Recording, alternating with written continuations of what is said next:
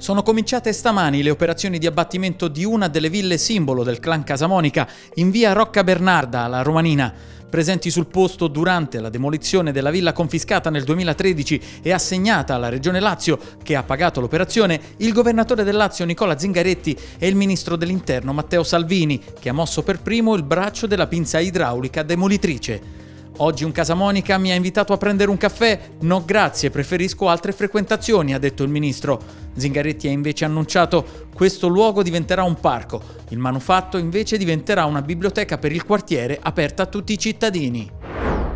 Nel 2017 si sono verificati nel Lazio 19.590 incidenti stradali che hanno causato la morte di 356 persone e il ferimento di altre 27.066. Rispetto al 2016 gli incidenti sono diminuiti dell'1,8% e i feriti del 2,5%, ma è aumentato il numero delle vittime del 2,6%.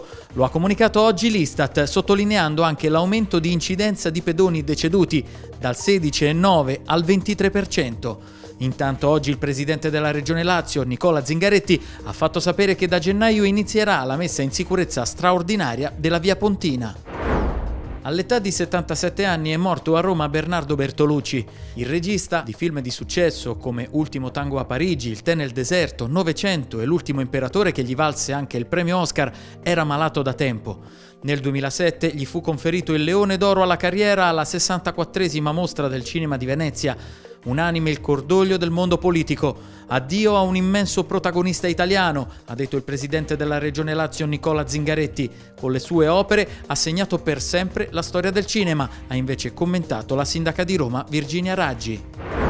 Si chiama Costellazioni 2, la seconda mostra alla casa di Goethe dedicata ai tesori tedeschi rinvenuti nei mercatini romani dal collezionista e storico dell'arte Giuseppe Garrera. L'esposizione è dedicata alla figura e all'opera di Joseph Beuys. Gli oggetti esposti, in prevalenza prodotti da Beuys a partire dalla metà degli anni 70, ripercorrono i suoi viaggi in Italia, da Capri a Foggia, da Napoli a Roma.